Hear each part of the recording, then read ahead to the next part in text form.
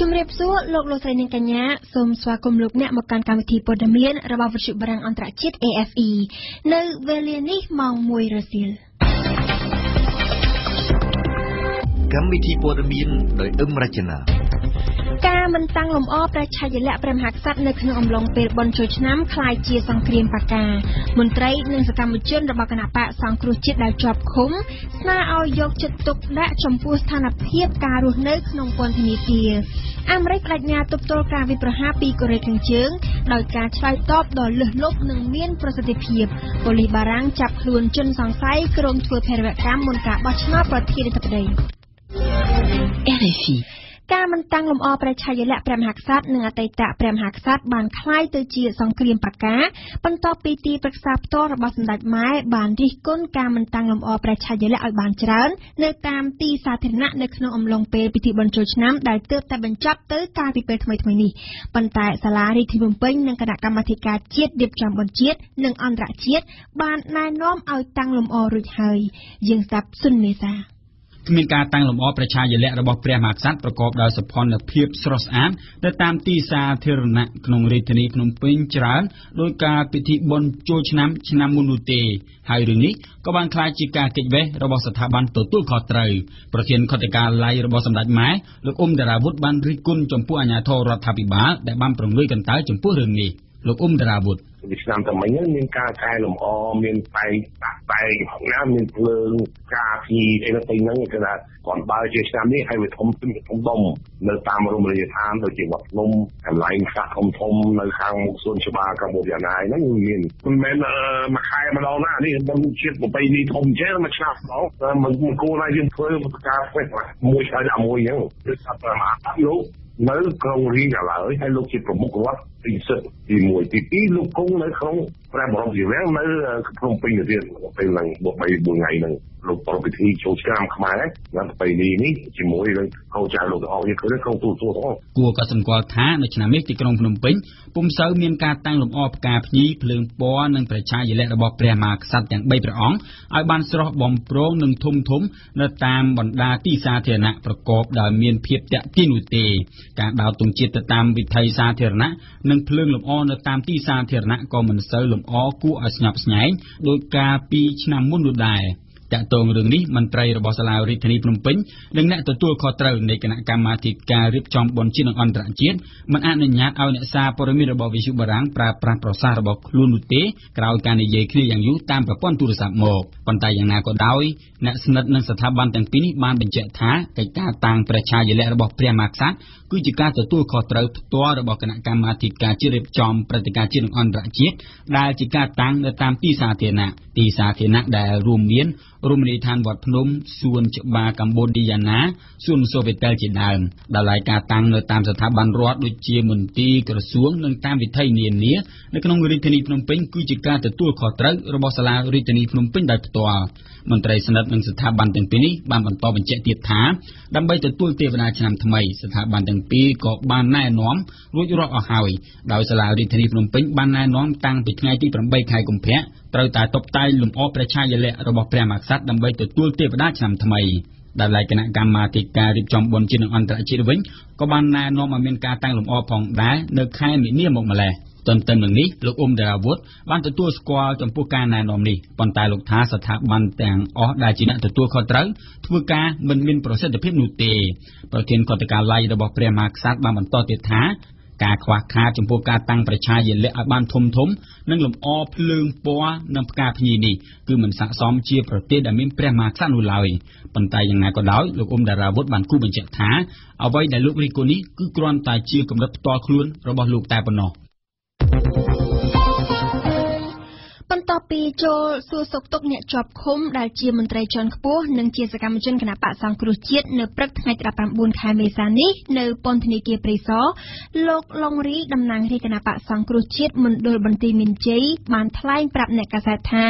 អ្នកជាប់ឃុំដែលគណបកសង្គ្រោះជាតិហៅថាជាអ្នកទោសមនសិការបានជំរុញឲ្យគណបកសង្គ្រោះជាតិប្រឹងប្រែងការងាររបស់ខ្លួនលើសដើមដើម្បីឲ្យមានការផ្លាស់ប្ដូរមន្ត្រីនិងសកម្មជនរបស់គណបកសង្គ្រោះជាតិដែលជាប់ឃុំក៏បានស្នើផងដែរឲ្យមានការយកចិត្តទុកដាក់លើបញ្ហាមួយចំនួនដូចជាកន្លែងគេងចង្អៀតសេវាសុខាភិបាលមានការលំបាកនិងមានការឃ្លាំមើលពីអនុរិយពន្ធនាគារផងដែរសូមអញ្ជើញស្ដាប់ប្រសាសន៍លោករងរីដែលជាការរៀបចំជូនដោយញឹមសុផល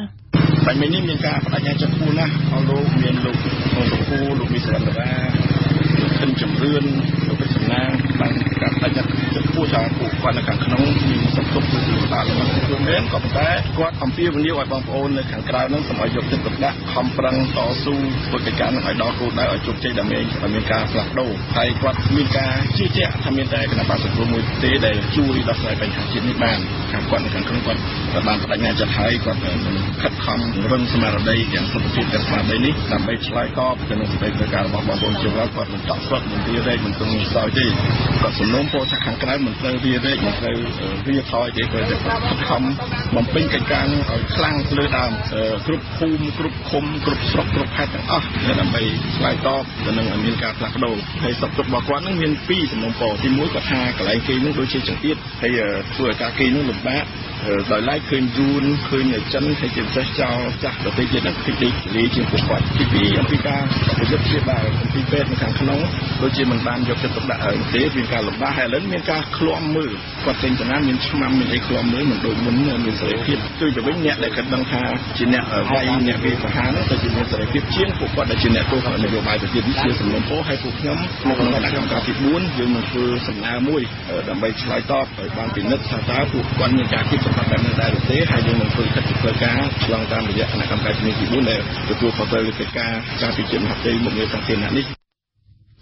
គណៈបកប្រជាជនកម្ពុជានៅថ្ងៃទី18ខែមេសាម្សិលមិញនេះបានរំលឹកប្រាប់ក្រុមការងារចុះជួយរាជធានីខេត្តរបស់ខ្លួន អំពីការងារដែលត្រូវធ្វើនៅថ្ងៃទី20ខែឧសភាខាងមុខបើតាមគណៈបកកាន់អំណាច នៅថ្ងៃទី20ខែឧសភាខាងមុខនេះគឺជាថ្ងៃចាប់ផ្ដើមឃោសនាបោះឆ្នោត និងជាថ្ងៃខួបរំលឹកវិញ្ញាណក្ខន្ធអ្នកដែលបានចែកឋាននៅក្នុងរបបប៉ុលពតហេតុដូច្នេះគណៈបកកាន់អំណាចបានណែនាំឲ្យក្រុមការងារចុះជួយរាជធានីខេត្តនិងគណៈកម្មាធិការគណៈបរិធានីខេត្តឲ្យរៀបចំពិធីរំលឹកវិញ្ញាណក្ខន្ធតាមជាក់ស្ដែងដោយដែលបានធ្វើកន្លងមកទន្ទឹមនឹងការរៀបចំបើកយុទ្ធនាការឃោសនាបោះឆ្នោតនៅគ្រប់ឃុំសង្កាត់សម្រាប់យុទ្ធនាការឃោសនាបោះឆ្នោតនោះទៀតសោតត្រូវដឹកនាំនិងជំរុញឲ្យក្រុមការងារគណៈបកនិងគណៈកម្មាធិការបកចាត់ចែងប្រើប្រាស់កម្លាំងសរុបមធ្យោបាយសរុបដើម្បីរួមគ្នាធ្វើយុទ្ធនាការឃោសនាចំណុចកំពូលរយៈពេល14ថ្ងៃនៅគ្រប់ឃុំសង្កាត់ទាំងអស់តាមផែនការដែលបានគ្រោងទុកនិងស្របតាមច្បាប់ប័ណ្ណបញ្ជា និងនីតិវិធីនៃការបោះឆ្នោតពាក់ព័ន្ធទៅនឹងការបោះឆ្នោតដែរគណៈកម្មាធិការជាតិរៀបចំការបោះឆ្នោតកោជបបានចេញគោលការណ៍ណែនាំឲ្យស្ថានីយ៍ទូរទស្សន៍និងវិទ្យុជួលឬលក់ម៉ោងផ្សាយឲ្យគណៈបកនយោបាយសម្រាប់ការឃោសនាបោះឆ្នោតឃុំសង្កាត់នៅពេលខាងមុខនេះកោជបបានបញ្ជាក់ថាការលក់ឬជួលម៉ោងនេះគឺត្រូវគោរពតាមគោលការណ៍ស្មើភាពគ្នា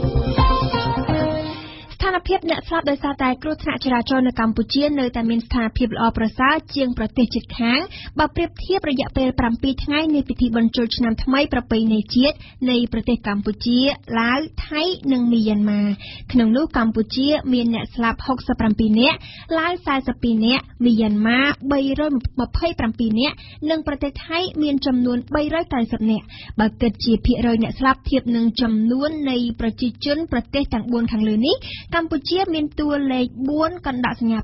5%ឡាវ6%មីយ៉ាន់ម៉ា6កណ្ដកសញ្ញា1%និងប្រទេសថៃចំនួន5កណ្ដកសញ្ញា7%នេះបើតាមរបាយការណ៍ប្រៀបធៀបគ្រោះថ្នាក់ចរាចរណ៍នៃប្រទេសកម្ពុជាឡាវថៃនិងមីយ៉ាន់ម៉ាដែលផ្ដល់ដោយអង្គការក្រៅរដ្ឋាភិបាលក្នុងរយៈពេលមួយសប្តាហ៍នៃពិធីបុណ្យចូលឆ្នាំថ្មីនាពេលកន្លងមកដោយឡែកបណ្ដាញសង្គម Facebook របស់វិទ្យុបារាំងអន្តរជាតិផ្សាយជាកាមេរ៉ាភាសាកាលពីថ្ងៃទី18ខែមេសាម្សិលមិញនេះបានកើនចំនួនអ្នកចុច like លើស3លានអ្នកហើយបើតាមគេហទំព័រវិភាគបណ្ដាញសង្គម Facebook ក្នុងចំណោមអ្នកប្រើប្រាស់ Facebook នៅកម្ពុជាសរុបជាង4លាន8សែននាក់មានអ្នកចុច like Facebook វិទ្យុបារាំងកាមេរ៉ាភាសាជាង2លាន4សែននាក់ឬស្មើនឹងពាក់កណ្ដាលនៃអ្នកប្រើប្រាស់ Facebook ទាំងអស់នៅកម្ពុជា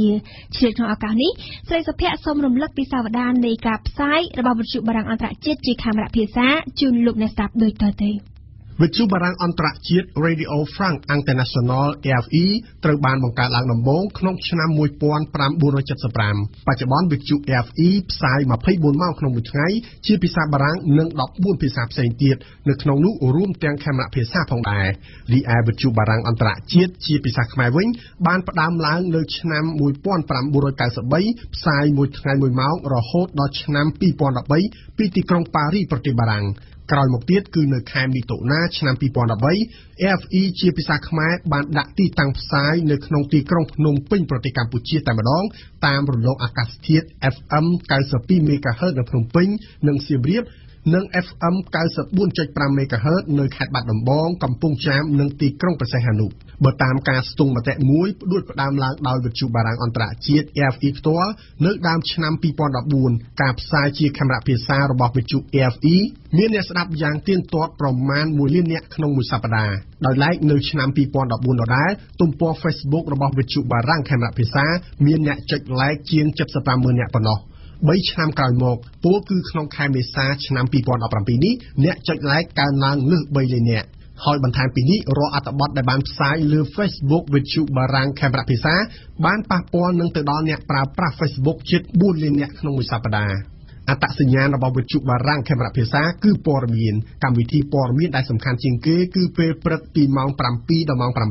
ថ្ងៃរសៀលពីម៉ោង1ដល់ម៉ោង2និងពេលយប់ពីម៉ោង7ដល់ម៉ោង8លើពីនេះទៀតរៀងរាល់1ម៉ោងម្ដងវិទ្យុបារាំងខេមរៈភាសាមានផ្សាយព័ត៌មានខ្លីទាន់ហេតុការណ៍ទាំងជាតិនិងអន្តរជាតិវិទ្យុបារាំងខេមរៈភាសាក៏ផ្សព្វផ្សាយក្នុងគោលដៅផ្ដល់ចំណេះដឹងតាក់ទងនឹងព្រឹត្តិការណ៍ព័ត៌មានជាតិអន្តរជាតិថ្មីថ្មីទាន់ហេតុការណ៍បទយកាបទវិភាគអំពីភូមិសាស្ត្រនយោបាយប្រវត្តិសាស្ត្រខ្មែរពិភពលោកអក្សរសិល្ប៍ខ្មែរអក្សរសិល្ប៍បារាំងសុខភាពអនាម័យលក្ខនិងលក្ខអ្នកសារព័ត៌មានរបស់វិទ្យុបារាំងខេមរៈភាសាមានពីរក្រុមនិងបុគ្គលិកទាំងអស់ជាង30នាក់មួយក្រុមនៅទីក្រុងប៉ារីប្រទេសបារាំងចាត់ចែងព័ត៌មានអន្តរជាតិនិងមួយក្រុមទៀតនៅទីក្រុងភ្នំពេញប្រទេសកម្ពុជាតាមដានជាពិសេសព្រឹត្តិការណ៍ព័ត៌មានជាតិ គូជំរាបថាតាមគេហទំព័រតាមដានបណ្ដាញសង្គម Gex in Cambodia នៅប្រទេសកម្ពុជា មានអ្នកប្រើប្រាស់ Facebook ប្រមាណជាង4លាន8សែននាក់គិតត្រឹមដើមឆ្នាំ2017ចំណែកគេហទំព័របណ្ដាញសង្គម Social Banker បានបង្ហាញថាក្នុងចំណោមអ្នកចុច like Facebook វិទ្យុបារាំងខេមរៈភាសាជាង3លាននាក់នោះអ្នកចុច like ជាង2លាន4សែននាក់ឬស្មើនឹង80%គឺជាអ្នកប្រើប្រាស់ Facebook នៅកម្ពុជាហើយអ្នកគ្រប់គ្រងតាមដានបន្តបន្ទាប់ទៀតគឺជាអ្នកប្រើប្រាស់ Facebook នៅក្នុងប្រទេសវៀតណាម ថៃភូមា និងសហរដ្ឋអាមេរិកជាដើម យើងផ្ដើមព័ត៌មានអន្តរជាតិអំពីអាមេរិកអនុប្រធានសភាអាមេរិកលោក Mike Pence នៅថ្ងៃពុធនេះបានបដិញ្ញាចិត្តថាសហរដ្ឋអាមេរិកនឹងទប់ទល់នឹងការវាយប្រហារពីកូរ៉េខាងជើងដោយការឆ្លើយតបដ៏លើសលប់និងមានប្រសិទ្ធភាពជាទីបំផុត ការបដិញ្ញាចិត្តនេះធ្វើឡើងខណៈដែលលោក Mike Pence ឈរនៅលើនាវាផ្ទុកយន្តហោះរបស់អាមេរិកដែលចូលចតនៅលើដែនទឹកប្រទេសជប៉ុននិងបន្ទាប់ពីកូរ៉េខាងជើងប្រមានធ្វើតេស្តមីស៊ីលរាល់សប្តាហ៍ដើម្បីជាការឆ្លើយតបនឹងការគំរាមរបស់អាមេរិកនៅថ្ងៃអង្គារម្សិលមិញនេះប៉ូលីសបារាំងបានចាប់ខ្លួនមនុស្ស2នាក់ដែលជាប់សង្ស័យថាបានរៀបគម្រោងការវាយប្រហារភេរវកម្មនៅក្នុងពេលការបោះឆ្នោតប្រធានាធិបតីបារាំងនឹងត្រូវប្រព្រឹត្តធ្វើនៅថ្ងៃអាទិត្យខាងមុខនេះបេក្ខជនសំខាន់សំខាន់ដែលចូលឈ្មោះក្នុងការបោះឆ្នោតប្រធានាធិបតីត្រូវបានអាជ្ញាធរជូនដំណឹងតាំងពីសប្តាហ៍មុនអំពីគម្រោងភេរវកម្មដើម្បីឲ្យពួកគេបង្កើនការរឹតបន្តឹងសុវត្ថិភាពផ្ទាល់ខ្លួនសេងឌីណាជូនព័ត៌មានជនសង្ស័យទាំងពីររូប ដែលត្រូវបានប៉ូលីសបារាំងចាប់ខ្លួននៅឯទីក្រុងម៉ាក់សីនៅប៉ែកខាងត្បូងប្រទេសបារាំង ម្នាក់មានវ័យ23ឆ្នាំនិងម្នាក់ទៀត29ឆ្នាំ គឺសុទ្ធសឹងតែជាអ្នកដែលស្ថិតនៅក្រោមការឃ្លាំមើលពីសំណាក់ទីភ្នាក់ងារចារកិច្ចដោយសារតែពួកគេត្រូវបានគេស្គាល់ថាជាអ្នកដែលមានគំនិតអ៊ីស្លាមជ្រុលនិយមយោងតាមការអះអាងរបស់ប៉ូលីសជនសង្ស័យទាំងពីររូបបានរៀបគម្រោងការចប់សពគ្រប់ហើយគ្រោងនឹងធ្វើការវាយប្រហារភេរវកម្មនៅក្នុងរយៈពេលប្រមាណថ្ងៃខាងមុខនេះក៏ប៉ុន្តែ ប៉ូលីសមិនបានបញ្ជាក់ឲ្យដឹងទេថាតើអ្វីទៅជាចំណុចស៊ីបនៃការវាយប្រហារនេះទោះជាយ៉ាងណាបេក្ខជនមួយចំនួនដែលចូលឈ្មោះនៅក្នុងការបោះឆ្នោតប្រធានាធិបតីត្រូវបានអាជ្ញាធរជួលដំណឹងពីគម្រោងភេរវកម្មដោយរូបថតជនសង្ស័យទាំងពីររូបត្រូវអាជ្ញាធរបញ្ជូនទៅឲ្យកងអង្គរៈរបស់បេក្ខជនប្រធានាធិបតីតាំងពីថ្ងៃប្រហ័សសប្តាហ៍មុនមកម្លេះហើយសន្តិសុខនៅក្នុងមីទីងឃោសនាបោះឆ្នោតរបស់បេក្ខជនខ្លះត្រូវបានរឹតបន្តឹងដោយមានការដាក់ពង្រាយកងកម្លាំងដូប៉ូលីស រដ្ឋមន្ត្រីក្រសួងមហាផ្ទៃបារាំងបានលើកឡើងនៅថ្ងៃអង្គារក្រោយការចាប់ខ្លួនជនសង្ស័យភេរវកម្មទាំងពីររូបថាការគម្រាមកំហែងភេរវកម្មនៅក្នុងប្រទេសបារាំងនៅពេលនេះកំពុងតែស្ថិតនៅក្នុងកម្រិតដ៏ខ្ពស់មិនធ្លាប់មានក៏ប៉ុន្តែលោកក៏បានធានាផងដែរថារដ្ឋាភិបាលបានចាត់នៅរាល់វិធានការចាំបាច់ដើម្បីរក្សាសន្តិសុខនៅក្នុងការបោះឆ្នោតប្រធានាធិបតីកងកម្លាំងប៉ូលីសអាវុធហត្ថព្រមទាំងទាហានគិតជាសរុបចំនួន50000នាក់ ត្រូវបានរដ្ឋាភិបាលដាក់ពង្រាយនៅក្នុងអំឡុងការបោះឆ្នោតដែលជុំទី1នឹងប្រព្រឹត្តទៅនៅថ្ងៃអាទិត្យទី23ខែមេសានិងជុំទី2នៅថ្ងៃអាទិត្យទី7ខែឧសភាខាងមុខគួរបញ្ជាក់ថាលោកស្រី Marine Le Pen គឺជាបេក្ខនារីដែលតាមការស៊ីផ្ទុំមតិនាពេលចុងក្រោយនេះមានសម្លេងនាំមុខគេក្នុងចំណោមបេក្ខជនសំខាន់សំខាន់ទាំង4រូបលោកស្រីគឺជាអ្នកនយោបាយមកពីគណៈបកស្ដាមនិយមជ្រុលហើយមានជំហរតឹងរឹងចំពោះអ្នកកាន់សាសនាអ៊ីស្លាម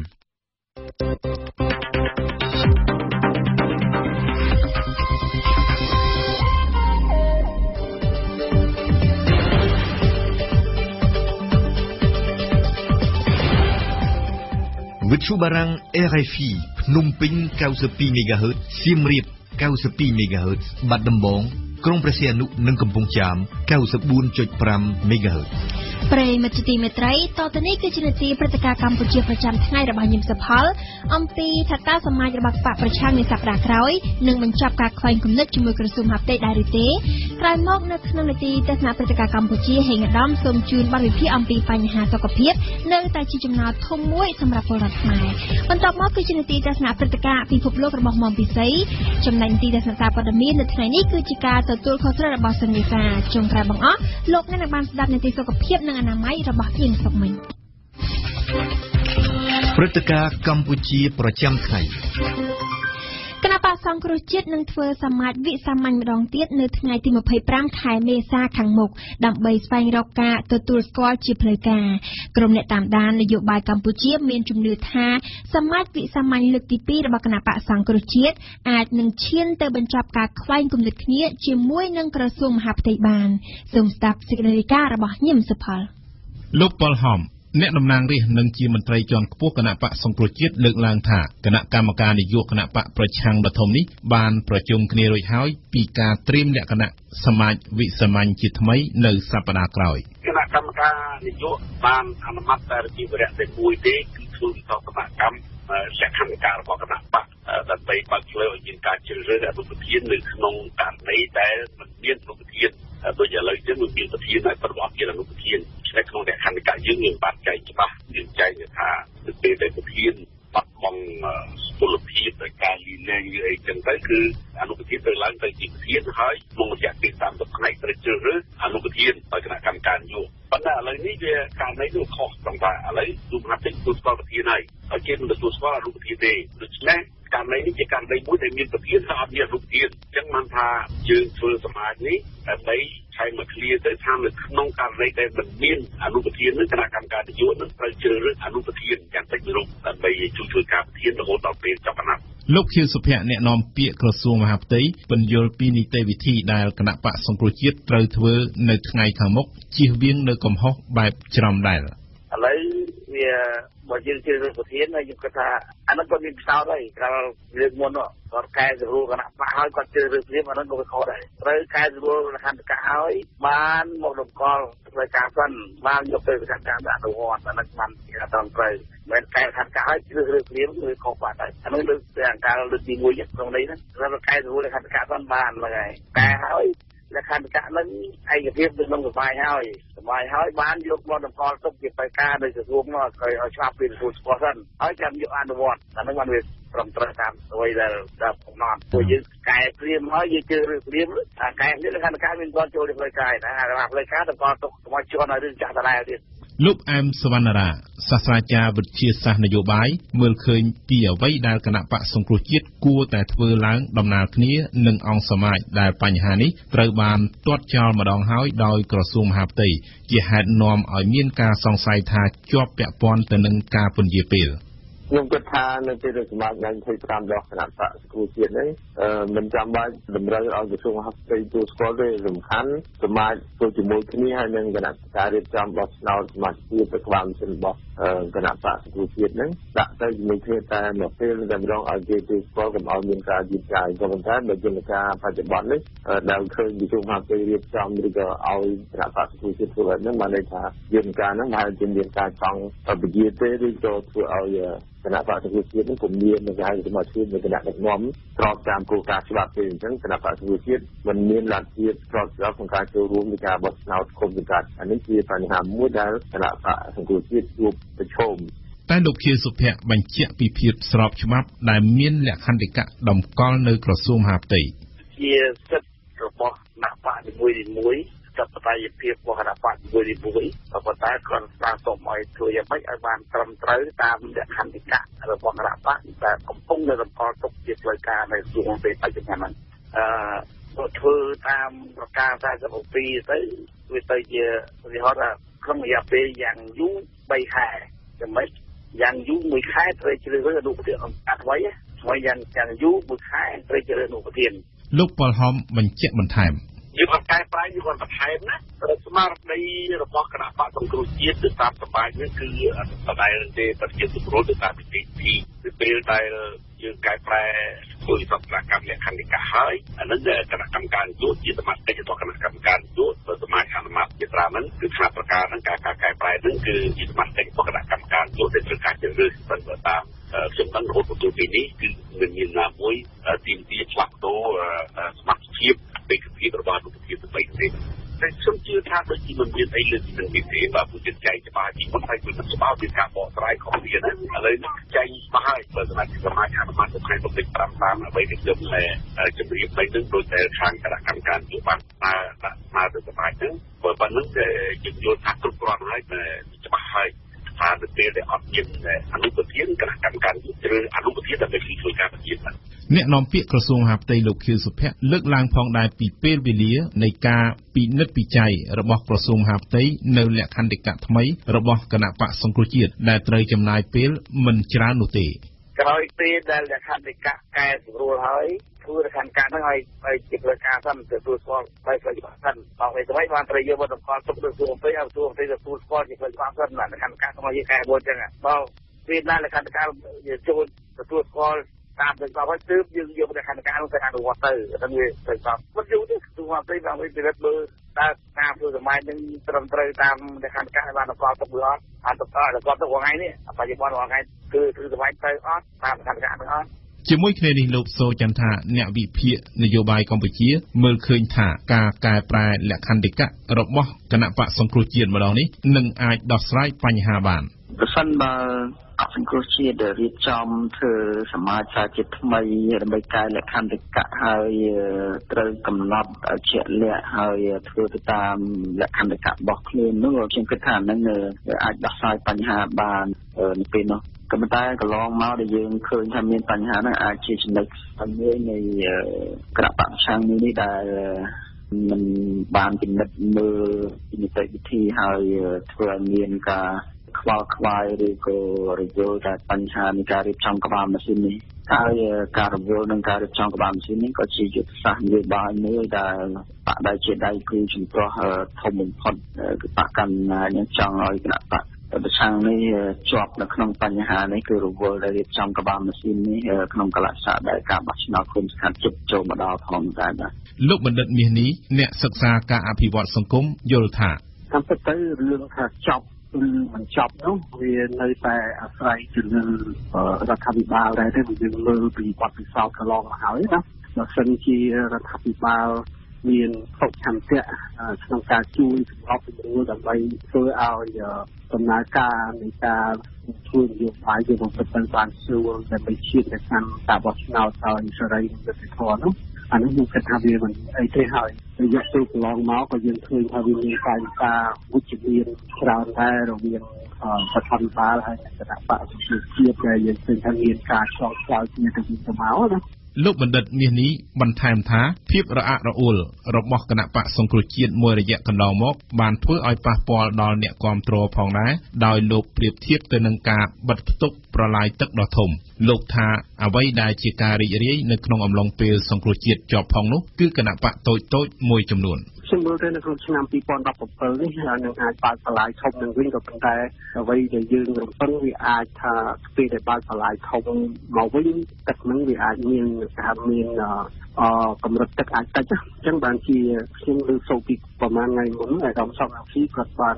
ថ្លែងការថាគណៈបក្សសង្គ្រោះជាតិនឹងមានការឈ្នះជុកទឹកជុកដីណាត្រង់ហ្នឹងសម្រាប់ខ្ញុំខ្ញុំថាសង្គ្រោះជាតិកំហាលធ្វើការទូទីខ្ពស់ពេក ព្រោះយើងឃើញថា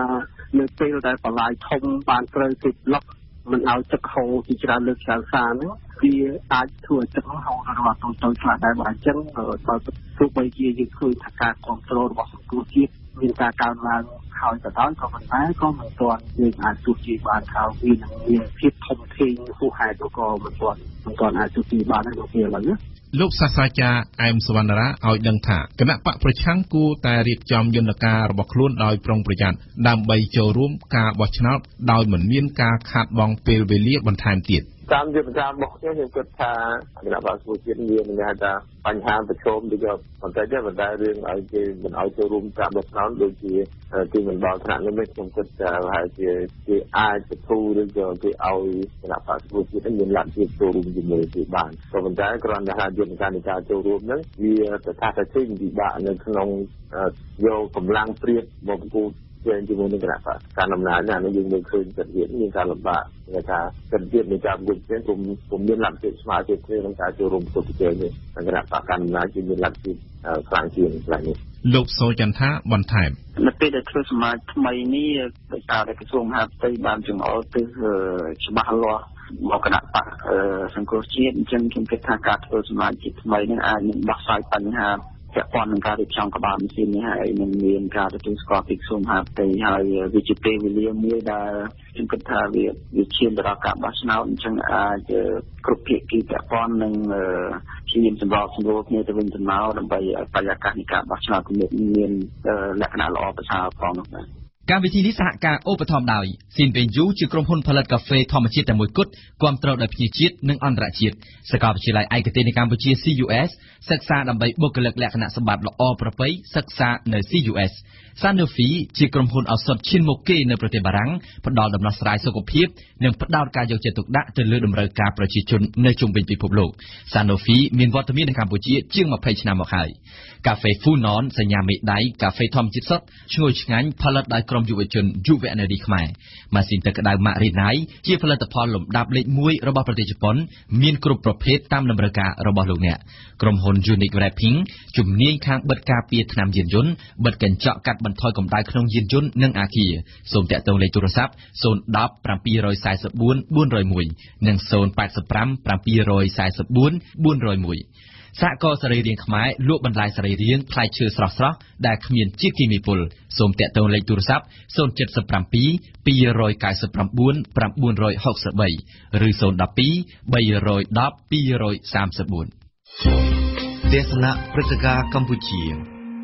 ជាទូទៅគេមើលឃើញថាវិស័យសុខាភិបាលនៅកម្ពុជាគឺនៅតែមានភាពទន់ខ្សោយពលរដ្ឋដែលមានលទ្ធភាពខ្លះគេមិនជឿទុកចិត្តទៅលើប្រព័ន្ធសុខាភិបាលរបស់ស្រុកទេខ្លួនទេហើយនាំគ្នាកាប់លុយទៅព្យាបាលនិងពិនិត្យជំងឺនៅបរទេសចំណែកពលរដ្ឋក្រីក្រក៏ស្ទើរតែមិនហ៊ានទៅមន្ទីរពេទ្យនៅក្នុងស្រុកឬនិយាយបែបផ្សេងគឺខ្លាចមន្ទីរពេទ្យតែម្ដងដូច្នេះការពង្រឹងគុណភាពនៃវិស័យសុខាភិបាលរបស់ជាតិខ្លួននិងការកសាងទំនុកចិត្តរបស់ពលរដ្ឋខ្មែរគឺជាចំណោទយ៉ាងធំដែលអ្នកនយោបាយត្រូវគិតគូរសូមស្ដាប់បទវិភាគរបស់ហេងឧត្តម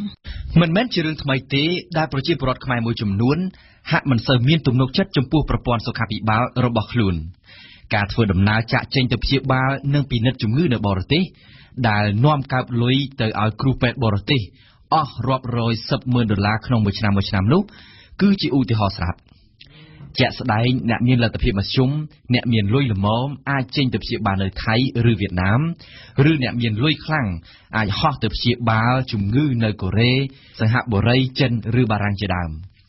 ការគ្មានទំនុកចិត្តចំពោះវិស័យសុខាភិបាលស្រុកខ្មែរគឺមិនមែនកើតមានតែនៅក្នុងចំណោមបណ្ដាប្រជាពលរដ្ឋសាមញ្ញឬអ្នកមានលុយមធ្យមនោះទេសូម្បីតែអុកញ៉ាមហាសេដ្ឋីឬអ្នកនយោបាយធំធំ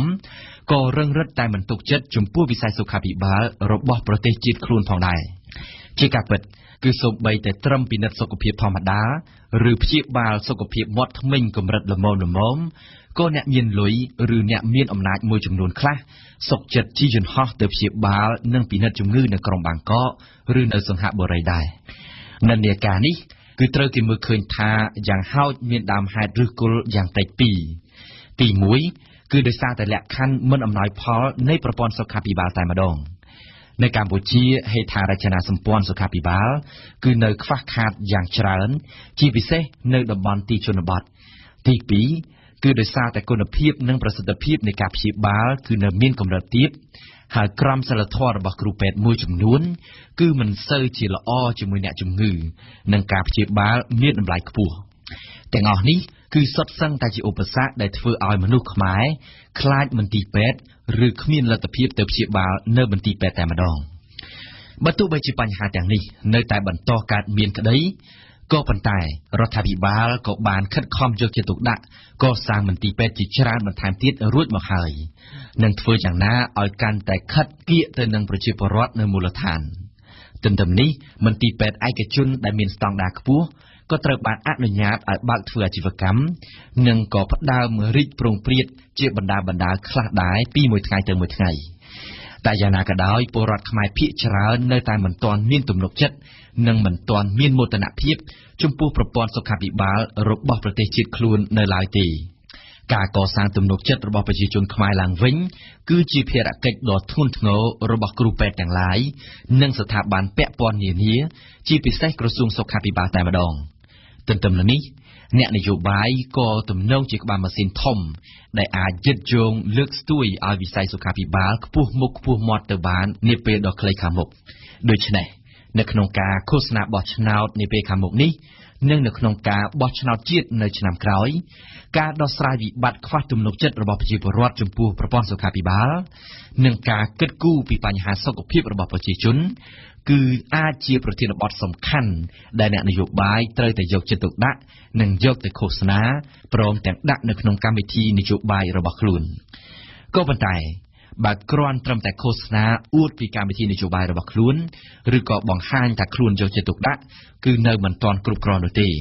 ព្រោះថាប្រជាពលរដ្ឋជាម្ចាស់ឆ្នោត គឺជាអ្នកទទួលផលពិតពិត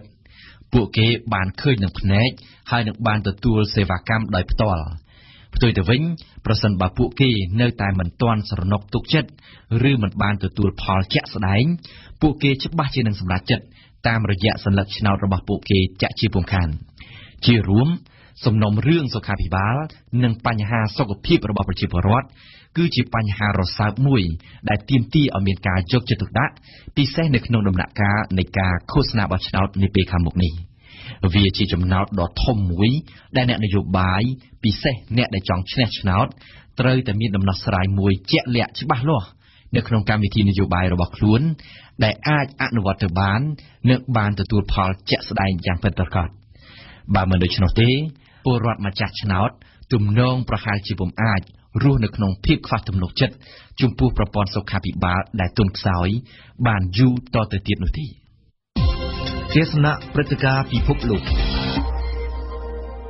នៅបាំងតែ4ថ្ងៃទៀតប៉ុណ្ណោះការបោះឆ្នោតជុំទី1ដើម្បីជ្រើសរើសប្រធានាធិបតីបារាំងនឹងឈានចូលមកដល់ឈានក្នុងឱកាសនេះមុំពិសេសសូមជម្រាបជូនលោកអ្នកនាងអំពីបេក្ខជនចូលឈ្មោះបោះឆ្នោតប្រធានាធិបតីបារាំងថាតើអ្នកទាំងនោះមានកម្មវិធីនយោបាយខុសគ្នាយ៉ាងណាខ្លះនៅក្នុងវិស័យអន្តរប្រវេសន៍សូមអញ្ជើញស្ដាប់មុំពិសេសដូចតទៅ ការគ្រប់គ្រងលំហូរជនអន្តោប្រវេសន៍ទាំងស្របច្បាប់ ទាំងមិនស្របច្បាប់ បានក្លាយជាកម្មវត្ថុពិភាក្សាវែកញែកទាំងសរសៃករវាងអ្នកនយោបាយបារាំងជាច្រើនខែមកហើយ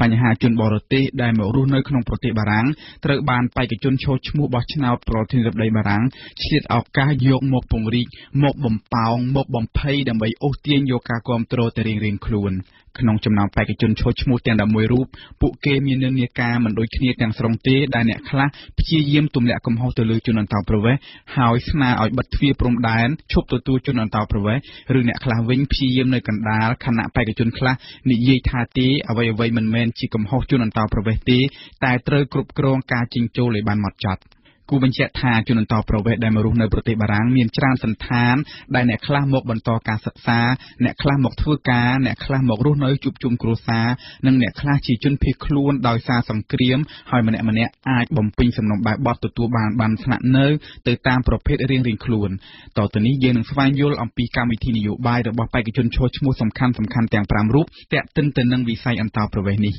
ជាបឋមបេក្ខជនឈរឈ្មោះមួយរូបដែលសកម្មជាងគេក្នុងបញ្ហានេះគឺលោកស្រី Marine Le Pen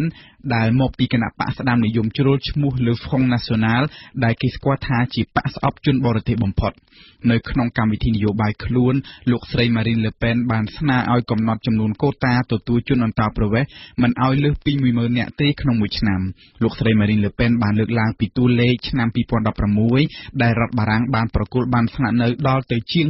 220,000បាន ថាជាចំនួនច្រើនហួសហេតុហើយនៅថ្ងៃម្សិលមិញនេះទៀតលោកស្រី Marine Le Pen ថែមទាំងបានបន្ថែមសំណើថ្មីមួយទៀត គឺផ្អាកការប្រគល់បានស្នាក់នៅមួយរយៈសិន បន្ទាប់ពីលោកស្រីជាប់ឆ្នោត។ ចំណែកលោក François Fillon បេក្ខជនមកពីគណៈបកសាធារណរដ្ឋវិញក៏មានគំនិតចង់កំណត់ចំនួនកូតាជនអន្តោប្រវេសន៍ដែរលោក François Fillon ចង់កំណត់ចំនួនអតិបរមាមួយជារៀងរាល់ឆ្នាំដោយយោងទៅតាមសមត្ថភាពរបស់រដ្ឋាភិបាលបារាំងលោក Fillon ថែមទាំងចង់ឲ្យកំណត់គោលការណ៍នេះមានចែងនៅក្នុងរដ្ឋធម្មនុញ្ញបារាំងទៀតផងដោយឡែកសម្រាប់បេក្ខជនពីររូបមកពីគណៈបកឆ្វេងនិយមគឺលោក Jean-Luc Mélenchon និងលោក Benoît Hamon បានបដិសេធមិនចង់កំណត់កូតាទទួលជនអន្តោប្រវេសន៍ទេលោកយ៉ងលួចមេឡុងសុងបន្ថែមទៀតថាបើលោកជាប់ឆ្នោតជាប្រធានាធិបតីលោកមិនចង់ទៅបិទផ្លូវរារាំងមិនឲ្យជនអន្តោប្រវេសន៍មករស់នៅប្រទេសបារាំងទេផ្ទុយទៅវិញរដ្ឋបារាំងទេដែលត្រូវគិតគូរបន្ថែមជួយរៀបចំយ៉ាងណាជួយជនអន្តោប្រវេសន៍ឲ្យធ្វើសមាហរណកម្មក្នុងសង្គមបារាំងឲ្យបានល្អចំណែកលោកអេម៉ានូអែលម៉ាក្រុង ដែលតាមការស្ទាបសុងមតិមានការគ្រប់គ្រងគ្រាន់បើជាងគេនោះมันបានស្នើអ្វីទាំងអស់តាក់ទិនទៅនឹងការកំណត់កូតាទទួលជនអន្តោប្រវេសន៍នេះស្ថិតនៅក្នុងបរិបទជនអន្តោប្រវេសន៍នេះដែរលោកស្រី Marine Le Pen ប្រាថ្នាបិទផ្លូវលែងឲ្យមានការទទួលបានសិទ្ធិស្នាក់នៅដោយមូលហេតុជួបជុំគ្រួសារដោយស្វ័យប្រវត្តិទៀតហើយសម្រាប់លោកស្រីនេះជាបញ្ហាធំណាស់ព្រោះជនបរទេសម្នាក់បានសិទ្ធិស្នាក់នៅនិងសណ្ដោងបងប្អូនប្តីប្រពន្ធកូនចៅមកកាន់តែច្រើន សិទ្ធិទទួលបានសញ្ជាតិបារាំងតាមរយៈអាពាហ៍ពិពាហ៍ក៏លោកស្រីចង់លុបចោលដែរលោកស្រីក៏សន្យាថានឹងលុបសិទ្ធិទទួលបានសញ្ជាតិបារាំងដោយស្វ័យប្រវត្តិចំពោះក្មេងដែលកើតនៅលើដីបារាំងតែមានឪពុកម្ដាយជាជនជាតិបរទេសចំណែកលោក François Fillon បានស្នើថាត្រូវតែបន្តឹងលក្ខខណ្ឌក្នុងការប្រគល់បានស្នាក់នៅក្នុងមូលហេតុជួបជុំគ្រួសារនេះលោកមានបំណងតម្រូវឲ្យជនបរទេសម្នាក់ម្នាក់មានផែនការគ្រួសារច្បាស់លាស់មានការងារផ្ទះសម្បែងអាចទំនុកបំរុងក្រុមគ្រួសារខ្លួនបានដោយមិនត្រូវរំពឹងតែប្រាក់ឧបត្ថម្ភរបស់រដ្ឋនិងជាពិសេសសមាជិកគ្រួសារថ្មីត្រូវបង្ហាញពីឆន្ទៈក្នុងការរៀនភាសាបារាំង និងចូលចុះក្នុងសង្គមបារាំង ពុំនោះទេ គេមិនប្រគល់បានស្នាក់នៅឲ្យទេរីឯលោក Jean-Luc Mélenchon បានលើកឡើងថាក្នុងនាមប្រទេសបារាំងដែលធានាការពារសិទ្ធិបុគ្គល រដ្ឋមិនអាចទៅហាមឃាត់មិនឲ្យមនុស្សម្នាក់ម្នាក់រស់នៅជួបជុំគ្រួសារខ្លួនបានទេ វាជារឿងអមនុស្សធម៌ណាស់ដែលទៅហាមឃាត់មិនឲ្យជនបរទេសម្នាក់មានសិទ្ធិរស់នៅជួបជុំគ្រួសាររបស់ពួកគេ ចំណែកលោក Emmanuel Macron និងលោក Benoît Hamon មិនបានស្នើអ្វីទាំងអស់លើចំណុចនេះបញ្ហាជនភៀសខ្លួនដែលបានសម្រុកចូលមកបារាំងរាប់សែននាក់ក្នុងរយៈពេល3ឆ្នាំចុងក្រោយនេះក៏ជាដំបៅសង្គមបារាំងដែរជនភៀសខ្លួនទាំងនោះបានធ្វើដំណើរចូលប្រទេសបារាំងដោយខុសច្បាប់រស់នៅតាមជំរងអាណាធិបតេយ្យបេក្ខជនឈរឈ្មោះនីមួយៗបានលើកសំណើរៀងៗខ្លួនទូយ៉ាងលោកស្រី Marine Le Pen ដែលចង់កំណត់គោលការណ៍តែមួយគត់ គឺជនភៀសខ្លួនម្នាក់ម្នាក់ត្រូវតែដាក់ពាក្យស្នើសុំសិទ្ធិជ្រកកោននៅស្ថានទូតបារាំងក្នុងប្រទេសខ្លួនជាមុនសិនមិនអាចធ្វើដំណើរចូលដោយខុសច្បាប់ហើយទើបដាក់ពាក្យសុំតាមក្រោយនោះទេចំណែកលោក François Fillon ចង់រឹតបន្តឹងលក្ខខណ្ឌសុំសិទ្ធិជ្រកកោនរបស់ជនភៀសខ្លួនដោយតម្រូវឲ្យជនភៀសខ្លួនដាក់ពាក្យសុំឲ្យបានមុន15ថ្ងៃក្រោយចូលដល់ដីបារាំងអាជ្ញាធរត្រូវសម្រេចឲ្យបានមុន4ខែដើម្បីបញ្ជូនជននោះត្រឡប់ទៅប្រទេសដើមវិញក្នុងករណីបដិសេធរីឯលោក Emmanuel Macron ចង់ធ្វើកំណែទម្រង់ក្នុងវិស័យគ្រប់គ្រងលំហូរជនភៀសខ្លួននេះ ដើម្បីពន្លឿននីតិវិធី ពោលគឺអាជ្ញាធរត្រូវសម្រេចក្នុងរយៈពេល2ខែ ថានរណាអាចស្នាក់នៅក្នុងនាមជាជនភៀសខ្លួនបាន លោកចង់លួចមេឡុងសុងវិញយល់ថាបារាំងជាមហាអំណាចដែលគោរពសិទ្ធិមនុស្សដូច្នេះបារាំងមិនអាចអោបដៃឈមមើលមិនព្រមជួយជនភៀសខ្លួនដែលរត់គេចពីសង្គ្រាមនិងការកាប់សម្លាប់នៅក្នុងប្រទេសពួកគេទេបារាំងត្រូវរៀបចំធ្វើយ៉ាងណាទទួលជនភៀសខ្លួនទាំងនោះឲ្យបានត្រឹមត្រូវជាពិសេសកុមារនិងស្ត្រីមិនត្រូវបណ្ដោយឲ្យពួកគេរស់នៅក្នុងជំរំអាណាធិបតេយ្យដែលពោពេញដោយបទល្មើសគ្រប់ប្រភេទនោះឡើយដូចគ្នាដែរលោកប៊ឺណូអាម៉ុងបានសន្យាថាបើលោកជាប់ឆ្នោតលោកនឹងធ្វើយ៉ាងណាជួយជនភៀសខ្លួនដែលបានមកដល់បារាំងមិនបោះបង់ចោលពួកគេទេរដ្ឋាភិបាលបារាំងត្រូវយកចិត្តទុកដាក់ជ្រោមជ្រែងឲ្យពួកគេរៀនភាសាបារាំងហើយអាចធ្វើការបានបន្ទាប់ពីពួកគេបានមកដល់ដីបារាំងចាប់ពី3ខែឡើងទៅធ្វើយ៉ាងនេះដើម្បីជំរុញផ្ដល់ក្តីសង្ឃឹមឲ្យជនភៀសខ្លួនអាចកសាងជីវិតថ្មីប្រកបដោយភាពថ្លៃថ្នូរនៅលើទឹកដីបារាំង កាលណាយើងនិយាយពីបញ្ហាជនអន្តោប្រវេសន៍និងបញ្ហាជនភៀសខ្លួននេះគឺយើងចាំបាច់ត្រូវនឹកដល់ការគ្រប់គ្រងតាមព្រំដែនបញ្ហាព្រំដែននេះគឺវាជាប់គ្នានឹងបញ្ហាសហភាពអឺរ៉ុបព្រមទាំងកិច្ចព្រមព្រៀង Schengen ស្ថិតនៅក្នុងក្របខ័ណ្ឌសហភាពអឺរ៉ុបនិងកិច្ចព្រមព្រៀង Schengen នេះបារាំងនិងប្រទេសហត្ថលេខីផ្សេងទៀតត្រូវបើកចំហទ្វារដល់ជនអន្តោប្រវេសន៍ណាដែលបានទទួលទិដ្ឋាការឬសិទ្ធិស្នាក់នៅក្នុងប្រទេសហត្ថលេខីណាមួយ។ ត្រង់ចំណុចនេះបេក្ខជនឈរឈ្មោះបោះឆ្នោតទាំងអស់បានលើកផែនការផ្សេងៗគ្នាដើម្បីរៀបចំត្រួតពិនិត្យព្រំដែនតំបន់អឺរ៉ុប Schengen លោកស្រី Marine Le Pen សន្យាថានឹងដាក់ការត្រួតពិនិត្យតាមច្រកព្រំដែនចេញចូលប្រទេសបារាំងឡើងវិញរីឯលោក Jean-Luc Mélenchon សន្យាថាត្រូវរុះរើគោលនយោបាយគ្រប់គ្រងជនអន្តោប្រវេសន៍របស់សហភាពអឺរ៉ុបចោលដោយបារាំងត្រូវចាកចេញពីកិច្ចព្រមព្រៀង Schengen តែយ៉ាងណាលោកប្រឆាំងដាច់ខាតក្នុងការដាក់ទាហានទៅទប់ជនភៀសខ្លួននៅតាមព្រំដែនមិនថាព្រំដែនគោកឬព្រំដែនទឹកព្រោះវាជារឿងគ្មានប្រយោជន៍ចំណែកលោក Emmanuel Macron និងលោក François Fillon សុទ្ធតែសន្យាថានឹងរឹតបន្តឹងការត្រួតពិនិត្យព្រំដែនខាងក្រៅរបស់សហភាពអឺរ៉ុបដើម្បីទប់មិនឲ្យជនភៀសខ្លួននិងជនអន្តោប្រវេសន៍ចូលមកដោយខុសច្បាប់លោក Fillon ចង់ចរចាកែសម្រួលកិច្ចព្រមព្រៀង Schengen ដើម្បីត្រួតពិនិត្យច្រកព្រំដែនបារាំងត្រង់ចំណុចខ្លះដែលអាចជាច្រកចេញចូលខុសច្បាប់របស់ជនអន្តោប្រវេសន៍លោកក៏ចង់ដាក់វិធានការចាប់បង្ខំប្រទេសហត្ថលេខីទាំងអស់ឲ្យគោរពកាតព្វកិច្ចខ្លួនក្នុងការគ្រប់គ្រងចរាចរណ៍ជនអន្តោប្រវេសន៍ខុសច្បាប់ រវាងបេក្ខជនធំធំទាំង5រូបនេះយើងឃើញថាគោលនយោបាយទស្សនវិស័យស្ដីពីបញ្ហាជនអន្តោប្រវេសន៍និងជនភៀសខ្លួនមានលក្ខណៈដាច់ពីគ្នា ជាការពិតបារាំងតែម្នាក់មិនអាចទទួលជនភៀសខ្លួនទូទាំងសកលលោកបានទេ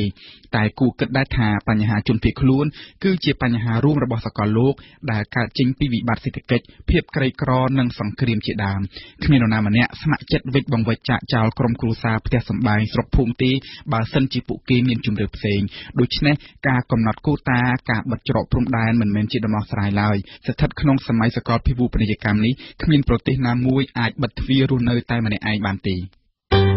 ទេសនាសារព័ត៌មាននីតិទេសនាសារព័ត៌មានរបស់វិទ្យុយើងនៅថ្ងៃពុធនេះគឺជាការទទួលខុសត្រូវរបស់សុនមេសារឿងធំជាងគេរបស់កាសែត Cambodia Daily គឺលោកគិតមេងធានាឲ្យដោះលែងជើប្រណិតដែលសមត្ថកិច្ចរឹបអូសបាននៅជិតព្រំដែនកាសែតបានរាយការណ៍ថា រថយន្តចំនួន2គ្រឿងដែលជារថយន្តធំធំដែលបានដឹកឈើប្រណិតហើយត្រូវមន្ត្រីមូលដ្ឋានបានចាប់នោះគឺត្រូវបានដោះលែងហើយគណៈដែលគេដឹងថារថយន្តទាំងពីរគ្រឿងដែលដឹកឈើប្រណិតនោះគឺជារបស់លោកអុកញ៉ាគិតមេង បើតាម The Cambodia Daily ដល់ដែលលោកគង់វិចិត្រនាយការិយាល័យបទល្មើសសេដ្ឋកិច្ចនៃស្នងការនគរបាលខេត្តត្បូងឃ្មុំបានមានប្រសាសន៍ថាមន្ត្រីគយបានដោះលែងរថយន្តទាំងពីរគ្រឿងនោះហើយ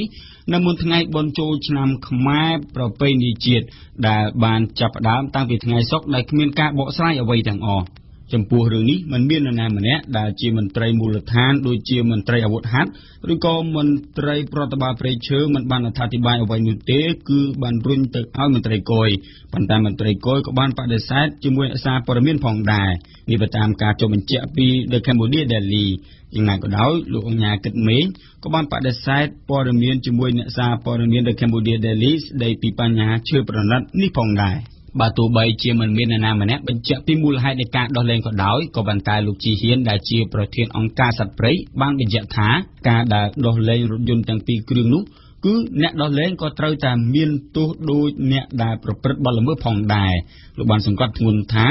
ការដោះលែងនេះគឺជាទង្វើខុសច្បាប់ពីព្រោះសមត្ថកិច្ចបានដោះលែងដោយមិនបានស្វែងរកជនល្មើសនោះទេ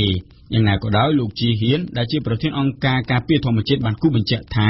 ប្រសិនបើក្រុមហ៊ុនរបស់លោកអុកញ៉ាគិតមេងមិនយកលុយទៅសូកប៉ាន់សមត្ថកិច្ចនោះទេក៏គេមិនដោះលែងរថយន្តទាំងឈើទាំងរថយន្តផងដែរដែលរឿងធំជាងគេរបស់កាសែតភ្នំពេញប៉ុននៅថ្ងៃនេះគឺទីប្រឹក្សារីគុណការមិនដាក់តាំងប្រជាយលៈព្រះមហាក្សត្រនៅក្នុងពិធីបុណ្យចូលឆ្នាំខ្មែរអមជាមួយរូបភាពលោកអ៊ុំដារាវុធដែលជាទីប្រឹក្សារបស់ព្រះមហាក្សត្រយានីរោត្តមនីនាថសេនុដែលបានផ្ដល់បទសម្ភាសជាមួយអ្នកសារព័ត៌មានភ្នំពេញប៉ុស្តិ៍នោះ កាសែតបានរាយការណ៍ថាទីប្រឹក្សាព្រះមហាក្សត្រយានីនរោត្តមនីនាថសេនុបានរិះគន់សាលាក្រុងភ្នំពេញនិងក្រសួងទេសចរដែលមិនបានដាក់តាំងរូបប្រជាយលៈរបស់ព្រះមហាក្សត្រនៅតាមទីសាធារណៈសំខាន់សំខាន់នៅសន្តាគារធំធំនៅក្នុងរាជធានីភ្នំពេញអំឡុងពិធីបុណ្យចូលឆ្នាំខ្មែរដែលទើបតែកន្លងផុតទៅថ្មីថ្មីនេះលោកអ៊ុំដារាវុធដែលជាទីប្រឹក្សាបានសម្ដែងការមិនពេញចិត្តហើយបានរិះគន់ចំចំលើសាលារាជធានីភ្នំពេញ ក្រសួងទេសចរដែលបានលើកឡើងថាស្ថាប័នរដ្ឋទាំងពីរនេះមិនបានដាក់តាំងឬក៏លំអប្រជាយលៈរបស់ព្រះមហាក្សត្រនៅក្នុងពិធីបុណ្យជាតិដ៏ធំមួយនេះនោះទេលោកអ៊ុំដារាវុធបានបន្តបញ្ជាក់ប្រាប់ភ្នំពេញប៉ុស្តិ៍ថានេះគឺជាការប្រព្រឹត្តផ្ទុយទៅនឹងបាវចនាជាតិនៃព្រះរាជាណាចក្រកម្ពុជា គឺជាតិសាសនាព្រះមហាក្សត្រហើយវាជាការមិនឲ្យតម្លៃលើព្រះមហាក្សត្រលោកមេតមាសភក្តីអ្នកនាំពាក្យសាលារាជធានីភ្នំពេញបានឲ្យដឹងថា ក្រោយពីទទួលបានការណែនាំពីគណៈកម្មការបុណ្យជាតិនិងអន្តរជាតិរួចមកសាលារាជធានីភ្នំពេញបានចេញសេចក្តីណែនាំមួយកាលពីខែមិនិនាប្រាប់ទៅដល់អង្គភាពនិងស្ថាប័នពាក់ព័ន្ធទាំងអស់ឲ្យរៀបចំចាត់ចែងដាក់បង្ហាញរូបប្រជាយលៈរបស់ព្រះមហាក្សត្រក៏ដូចជាការងារពាក់ព័ន្ធផ្សេងផ្សេងទៀតផងដែរ ដែលឡែកលោកថងខុនរដ្ឋមន្ត្រីក្រសួងទេសចរវិញបានប្រតិកម្មថាសន្តាគារបានដាក់តាំងព្រះឆាយលៈរបស់ព្រះមហាក្សត្រអតីតព្រះមហាក្សត្រនិងព្រះមហាក្សត្រយានីនរោត្តមនីនាថសីហនុផងដែរតែតាមការណែនាំរបស់ក្រសួងរួចហើយលោករដ្ឋមន្ត្រីក៏បានមានប្រសាសន៍ថែមទៀតថាសន្តាគារទាំងអស់សុទ្ធតែមានរូបធំធំរបស់ព្រះអង្គទាំង3តែសន្តាគារខ្លះមិនតុបតែងនោះឡើយសុទ្ធតែមានការណែនាំទាំងសារាចររួចហើយ។ ដោយឡែករឿងធំជាងគេរបស់រស្មីកម្ពុជានៅថ្ងៃនេះគឺគ្រោះថ្នាក់ចរាចរណ៍កាសែតបានដាក់ចំណងជើងពីរជួរនៅទំព័រមុខថាគ្រោះថ្នាក់ចរាចរណ៍5ថ្ងៃក្នុងពិធីបុណ្យចូលឆ្នាំស្លាប់55នាក់របួស226នាក់កាសែតបានរាយការណ៍ថាចាប់តាំងពីថ្ងៃទី13ដល់ថ្ងៃទី17មេសាឆ្នាំ2017ពលគឺមុនពេលនិងក្រោយពេលពិធីបុណ្យចូលឆ្នាំប្រពៃណីជាតិខ្មែររយៈពេល5ថ្ងៃនេះគ្រោះថ្នាក់ចរាចរណ៍ បានកើតឡើងចំនួន121លើកហើយបានសម្លាប់មនុស្សចំនួន55នាក់និងរងរបួស226នាក់ផងដែរមូលហេតុគ្រោះថ្នាក់ចរាចរណ៍ច្រើនជាងគេគឺការបើកបរហួសល្បឿនកំណត់និងស្រវឹងតែម្ដងយើងបិទបញ្ចប់ទស្សនៈសារព័ត៌មានរបស់យើងនៅថ្ងៃពុធនេះជាមួយនឹងកាសែតកម្ពុជាថ្មីកាសែតបានចាប់អារម្មណ៍ទៅលើព្រឹត្តិការណ៍អង្គរសង្ក្រានកាសែតបានដាក់ចំណងជើងពីរជួរនៅទំព័រមុខថាថ្ងៃបើកព្រឹត្តិការណ៍អង្គរសង្ក្រានសម្ដេចតេជោនិទានរឿងកតិលោក ដាស់តឿនមនុស្សលោភលន់បំពានអ្នកដែលមានគុណចំពោះខ្លួនឯងអមជាមួយរូបភាពលោកនាយករដ្ឋមន្ត្រីហ៊ុនសែនដែលកំពុងតែទស្សនានៅក្នុងតំបន់ព្រឹត្តិការណ៍អង្គរសង្ក្រាននោះកាសែតបានរាយការណ៍ចេញពីខេត្តសៀមរាបថានៅក្នុងឱកាសពិធីបើកព្រឹត្តិការណ៍អង្គរសង្ក្រានឆ្នាំ2017នៅខេត្តសៀមរាបប្រមុខរដ្ឋាភិបាលកម្ពុជាបាននិទានរឿងកតិលោកដើម្បីដាស់តឿនទៅដល់មនុស្សលោភលន់ដែលបានបំពានទៅដល់អ្នកដែលមានគុណរបស់ខ្លួន។ សុខភាព និងអនាម័យនៅក្នុងនេតិសុខភាពនិងអនាម័យនាសប្តាហ៍នេះអៀងសុកមិញសូមជម្រាបជូនលោកអ្នកនាង អំពីសុទ្ធនិងសុខភាពសូមអញ្ជើញស្ដាប់ដូចតទៅ ជាបឋមសម្រាប់អ្នកដែលមិនដឹងមន់មិនត្រូវការអាកកសម្រាប់ពងទេលើកលែងតែករណីចង់បានពងយកមកភ្ជាប់ឬក៏ចង់បានជាកូនមន់ពីព្រោះពងមន់ដំបងឡើយគឺជាពងជីវិត ពងនេះបំផ្លាញបន្តិចម្ដងបន្តិចម្ដងទៅជាពងលឿង ជាខ្លាញ់បំរុងសម្រាប់ជាប្រភពផ្ដល់ធម៌ពលដល់អនាគតអមរិយងពងលឿងវិវត្តចាប់សពគ្រប់ហើយមានសេរីភាពធ្វើដំណើរនៅក្នុងដៃស្បូននៅក្នុងកន្សោមចាំចាប់មេជីវិតឈ្មោលគឺនៅពេលនោះឯងដែលពងសចាប់ផ្ដើមលូតលាស់ពាត់ពងលឿងពងសនេះមានបន្សំជាសំខាន់គឺប្រូតេអ៊ីនទឹកនិងរ៉ែមកដល់កស្បូនទើបគេឃើញមានសេរីរាងដំបូងចាប់ផ្ដើមលូតលាស់នោះគឺសម្បក ទាល់តែចូលទៅដល់ក្នុងស្បូង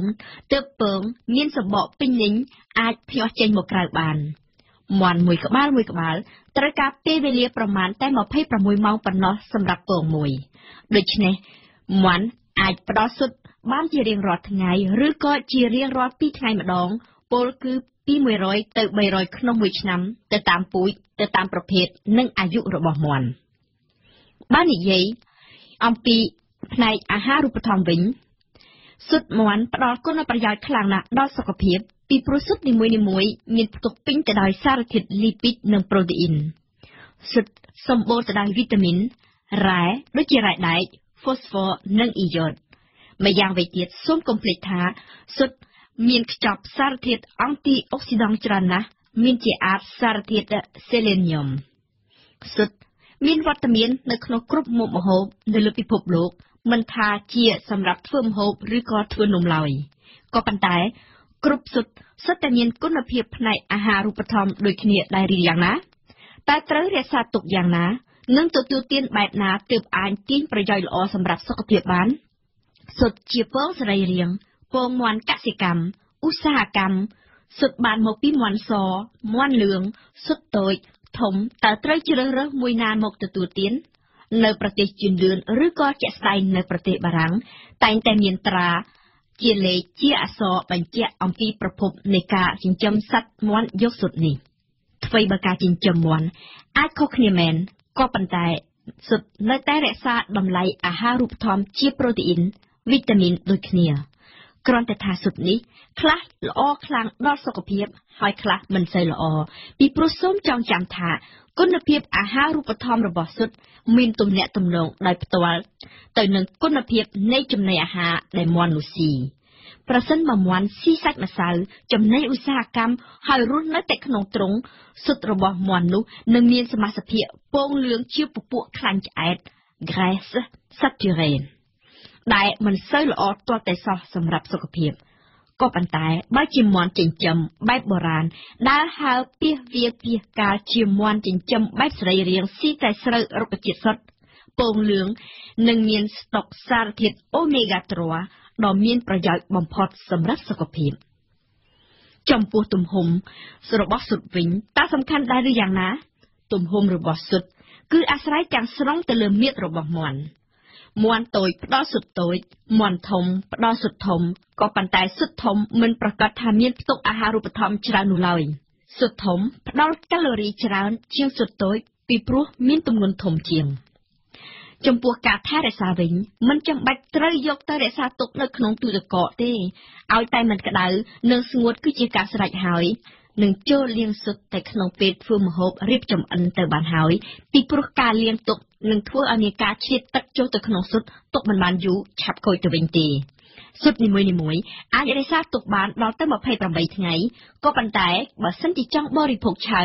ឬមិនសូវឆ្អិនគឺយកតែពងថ្មីតែប៉ុណ្ណោះពងថ្មីមានន័យថាពងដែលភ្ញាស់ចេញពីគូតមាន់ក្រោយ14ថ្ងៃលើសពីនោះគឺត្រូវតែចំអិនឲ្យឆ្អិនល្អគេអាចសម្គាល់ស៊ុតស្រស់ថ្មីឬក៏ចាស់បានដោយងាយគឺដាក់ត្រាំក្នុងទឹក បើលិចបាត់គឺជាពងថ្មី បើឈរលែងសូវស្រស់ហើយបើអណ្ដែតគឺត្រូវតែក្រវ៉ាត់ចោលអស់លោកនាងបានស្ដាប់ឲ្យត្រួសត្រាសថាអ្វីជាសុទ្ធរួចមកហើយដូច្នេះនាងខ្ញុំសូមឆ្លើយទៅនឹងសំណួរជាច្រើនដែលមានតាក់ទងទៅនឹងសុទ្ធនិងសុខភាពម្ដងតើសុទ្ធមានប្រយោជន៍យ៉ាងណាខាងផ្នែកវិទ្យាសាស្ត្រ សុទ្ធឬក៏ពងត្រូវបានគេយកទៅប្រើប្រាស់ដើម្បីព្យាបាលជំងឺតាំងពីយូរយារមកហើយ ទាំងខាងផ្នែកវិទ្យាសាស្ត្របុរាណក៏ដូចជាខាងវិទ្យាសាស្ត្របែបទំនើបនិងឱសថសាស្ត្រដែរ។ សុទ្ធលឿងអាចយកទៅធ្វើជាគ្រឿងប្រើបន្សំផលិតថ្នាំវ៉ាក់សាំងប្រឆាំងនឹងជំងឺផ្ដាសាយហើយប៉ុន្មានឆ្នាំចុងក្រោយនេះអ្នកស្រាវជ្រាវកំពុងតែចាប់អារម្មណ៍នឹងសុទ្ធសក្នុងវត្ថុរាវនៃសុទ្ធសមានម៉ូលេគុលដ៏ច្រើនគួរឲ្យចាប់អារម្មណ៍ក្រៅអំពីជាប្រភពផ្ដល់ប្រូតេអ៊ីនដល់សរីរាង្គមនុស្សក្រុមគ្រូពេទ្យស្រាវជ្រាវបារាំងនៅទីក្រុងតួកំពុងតែសម្លឹងមើលគុណប្រយោជន៍ផ្សេងទៀតរបស់សុទ្ធស សុទ្ធមានទួនាទីជាបឋមឡើយគឺបង្កើតកូនអំព្រិយងអាចលូតលាស់คล้ายទៅជារូបរាងបានដោយមិនត្រូវការម្ដាយពិតជាគួរឲ្យឆ្ងល់ហើយដើម្បីទម្លាយចម្ងល់នេះគឺគេត្រូវតែស្វែងយល់អំពីពងសរបស់សុទ្ធគេបានស្គាល់ម៉ូលេគុលមួយច្បាស់និងយកមកប្រើប្រាស់រួចទៅហើយនៅក្នុងវិទ្យាសាស្ត្រសម្រាប់ផលិតថ្នាំក្អកនៅមានម៉ូលេគុលជាច្រើន ពាន់ទៀតដែលកំពុងសិក្សា ក្រុមគ្រូពេទ្យក្រុងតួកំពុងតែសាកល្បងដើម្បីយកមកធ្វើជាលបាយសម្រាប់ធ្វើជាផលិតផលរក្សាចំណីទុកឲ្យបានយូរឬក៏យកមកធ្វើជាថ្នាំផងតើពងលឿងរបស់សុទ្ធពិតជាបង្កគ្រោះថ្នាក់ដល់សុខភាពមែនទេកាលពីឆ្នាំ2012ការសិក្សាកាណាដាមួយបានអះអាងថាការទទួលទានពងលឿងជាប្រចាំអាចបង្កើនគ្រោះកើតជំងឺ atherosclerosis ក៏ប៉ុន្តែគេត្រូវរងចាំការបញ្ជាក់ ថាបានការសិនលទ្ធផលនេះនៅឡើយទេ